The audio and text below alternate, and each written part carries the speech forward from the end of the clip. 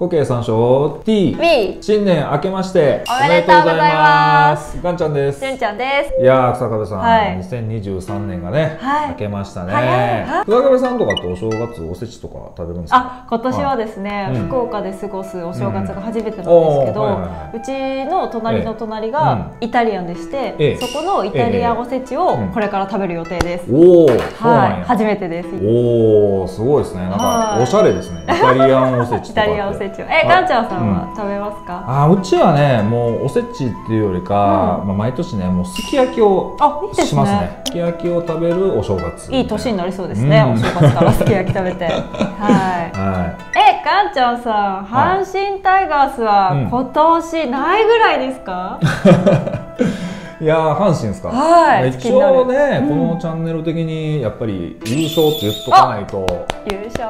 ねまはい。ずいでしょう。ね時計三勝 TV って言ってるのに阪神最下位予想はできないんでね。やっぱり優勝でまあ、はい優勝でしょうね、うん。やっぱりあの、まあ、順位予想動画はね、うんまた別でやろうと思いますけれども、やっぱりヤクルト強いですけどね、まあ、阪神も頑張ってほしいなと思いますんで、はい。というわけで2023年固形参照 TV はどんな年になりそうですか、あそうですね、まあ、あのうちの YouTube チャンネルとしましては、まあ、甲子園球場の、まあ、年間指定席を今申し込んでますのでお楽しみ。はい、年間指定席が届きましたら、はい。まあ、視聴者の皆さんにですね、うんうん。どんどんプレゼントしていきたいなというふうに思っていますことと、はい。あと、まあ、今年はね、まあ、どんどんどんどんあのグラウンドレベルに、うん。まあ、取材に行きたいなと思っております。野球部がある大学とかね。うんうん。あの実際にあの練習であったりとか、まあ、ピックアップ選手であったりとかあのグラウンドに直接出向いて、まあ、いろいろね取材とかロケですね。なかなかお知らせできてないんですけれども、うんうん。あのアパレルショップもやってますんで、うん。はい、小池参照 TV はですね、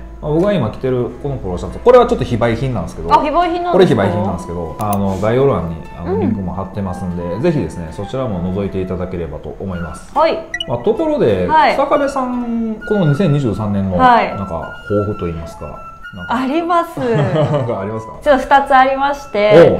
えっと、やっぱ一つはおもうちょっとう。ん野球の知識についてちょっと勉強したいのおとあと英語？英語私留学してたんですけどオーストラリアに3ヶ月。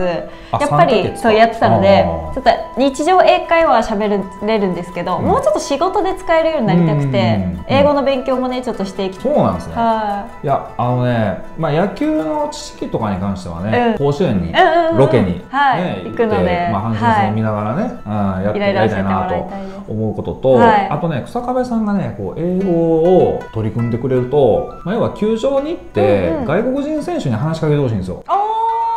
それでもねそう仕事で使えるようなねちょっと映画をもうちょっと勉強してインタビューっていうか、うん。まあそれはフェンス越しとかかもしれんけど、はい。外国人選手がグラウンドでね、うん。アップしてるところで草壁さんが英語でバババババって質問とかを。あなんかテロップで日本語にすれば。そうそうそう。あまあいいことですもんね。そういうのをはいなんか外人選手とかに話しかけて、なんか答えてくれてるのが分かるとかってなるとうちのチャンネルとしてもねなんか結構面白いんちゃうかなと。ちょっとね本当取り組んでいきたいです今年は。し、はい、うん。まあ、そういった部分もね非常に僕は期待したいなと。ちょっと頑張ります。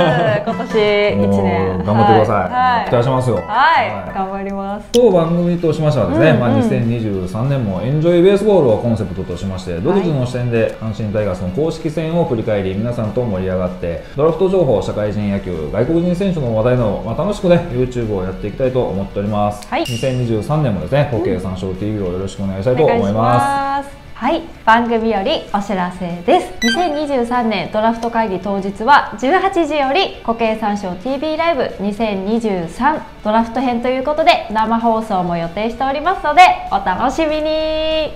固形参照 TV ではオリジナルグッズが買えるオンラインショップもやってます。で私がよく着ているこちらのね撮 T シャツも、はい買えますのでぜひぜひ皆さん概要欄もチェックしてみてくださいそれでは、えー最後までご視聴いただきましてどうもありがとうございました。ありがとうございました、まあ、2023年ですね、まあ、いよいよスタートしました、まあ、暗いニュースがね多い中なんですけれども、まあ、野球の話でですね、まあ、今年も皆さんとたくさん交流していきたいと思いますのでよろしくお願いしおます。願いします。それでは最後までご視聴いただきましてありがとうございました。また次の動画でお会いいたしましょう。さよなさよなら